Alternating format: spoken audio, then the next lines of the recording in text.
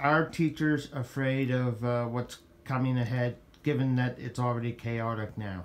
Pat, it's so chaotic that teachers are very afraid. We're afraid of our job security.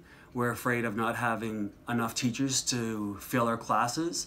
We're at a massive amount of sub shortage right now. The government has not taken care of that situation. People like me are going in to be math, science, English teachers, and that's not what I'm qualified or certified for. I'm a guidance counselor, a health practitioner. That's what I do.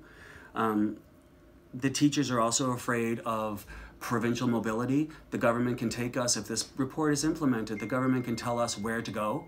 Um, we we kind of make a reference like it to the RCMP. They get posted. Well, teachers are gonna. This government's gonna have the power to post a teacher, and I can tell you a lot of teachers for the amount of work that they do in their communities, they're not going to want to go, and so you're going to see a lot of teachers leave the profession.